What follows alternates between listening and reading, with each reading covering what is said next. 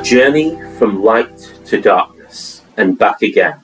In a small town in Manchester, there lived a man with learning disabilities named Jack. He was a kind hearted soul, always with a smile on his face. Jack had a loving family and a comfortable home, and he cherished every moment spent with them. But as life sometimes goes, change was on the horizon for Jack. With a mix of excitement and anticipation, Jack packed his bags and bid farewell to his family. He was off to a new home, full of hopes and dreams for the future. Jack was told that he would learn to be more independent in his new home.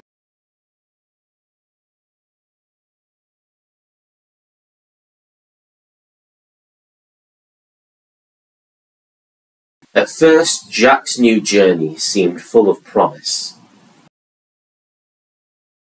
He was eager to explore his new surroundings and meet new people.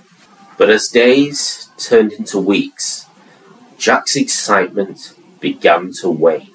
The food portions are so small at his new home, and when he asks for more, the nasty man says no. Slowly but surely, Jack's world started to crumble. He faced challenges he never expected, enduring hardships that tested his resilience. Cuts and bruises appeared on his body.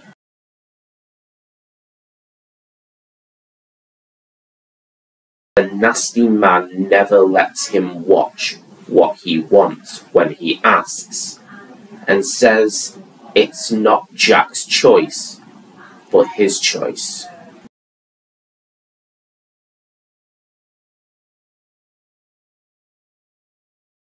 His financial situation grew dire, and he found himself feeling more isolated and alone than ever before.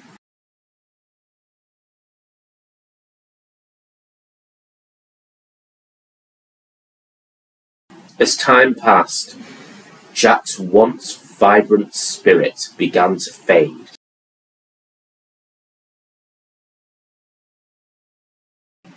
Lost in a world that seemed determined to break him, he felt like a shadow of his former self.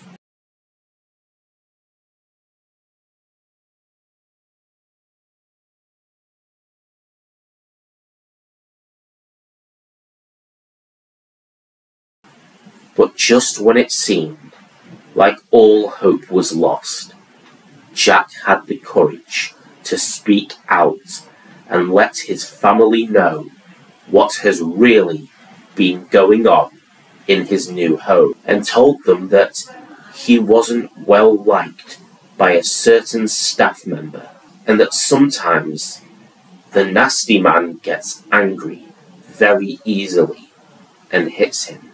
Jack finally opened up to his family about how he was receiving the bruises on his body.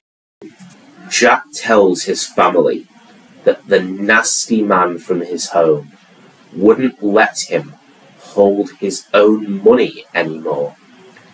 And he tells him what he can and can't spend it on. Jack asks his family if they really love him, because the nasty man at his home has told him they sent him here because they didn't love him anymore. Jack was scared, but he found the courage to tell his family exactly what had been happening to him in his new home.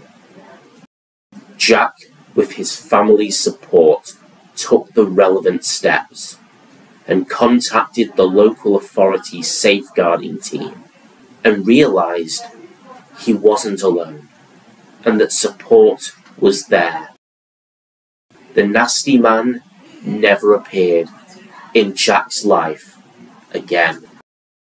Come join us in standing up for safeguarding where everyone's safety matters through the lens of individuals with learning disabilities. we're showing why it's so important to protect and respect each other. Let's build a world where everyone feels safe and heard. Safeguarding isn't just something we have to do, it's a promise we make to each other. Let's walk together towards a future where everyone is treated with kindness, dignity, and respect.